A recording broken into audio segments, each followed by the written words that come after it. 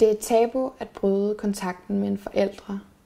Og det er det fordi, at når jeg eller en anden bryder kontakten og stiller spørgsmålstegn ved hele familien, præmis om, at den nødvendigvis altid må være den, så rammer det en nerve i os alle sammen.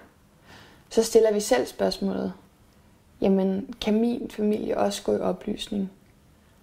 Og derfor er det et tabu herhjemme, fordi at det ikke er rart for nogen at mærke, at hele grundlaget for ens liv, som i mange tilfælde er familien, ikke nødvendigvis vil være for evigt.